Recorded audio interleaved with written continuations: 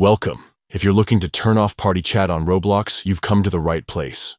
Whether you want a little more privacy or just need a break from group conversations, I'll walk you through the updated steps to disable party chat quickly and easily. Let's get started.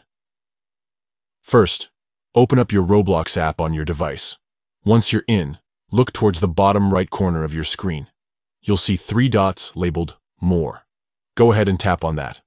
Next, from the menu that appears, select Settings. This will take you to a new page where you can adjust various aspects of your Roblox experience. Now, tap on Privacy and Content Restrictions. This section is where you control who can interact with you and how they can communicate.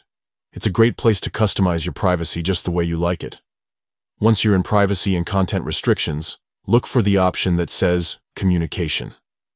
Tap on it to open up your communication settings. Here's where you'll find the Party Chat settings. Tap on Party to access the options for who can invite you to parties and chat with you in party mode.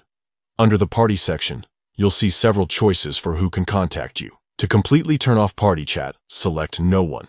This will prevent anyone from inviting you to a party or chatting with you through Party Chat, and that's it.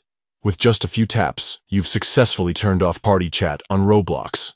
Now you can enjoy your games without any unwanted party invitations or group chats popping up. Remember, you can always come back to these settings and make changes if you want to enable party chat again in the future. Roblox gives you the flexibility to control your social experience, so use these settings to make your gameplay as comfortable as possible. If you found this guide helpful, don't forget to like and subscribe for more Roblox tips and updates. Thanks for watching, and happy gaming!